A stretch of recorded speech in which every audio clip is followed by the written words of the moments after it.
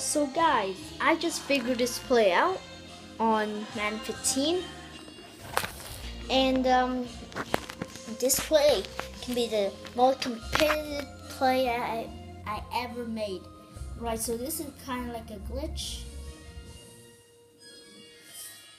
Okay, you you basically need to do verticals. Verticals is the only play I think we could do this. So you will this guy right here, number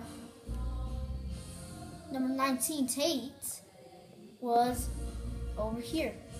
Tate was over here with Dez Bryant, right?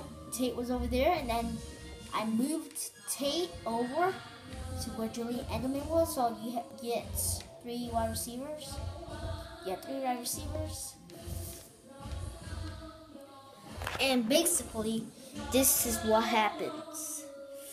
This is the play.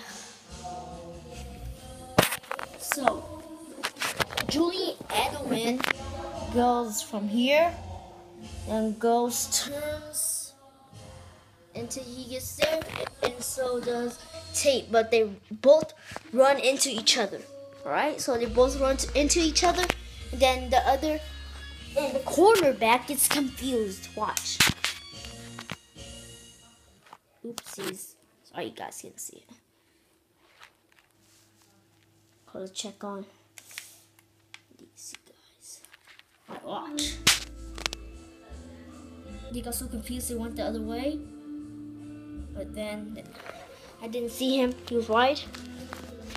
Let's see that play again.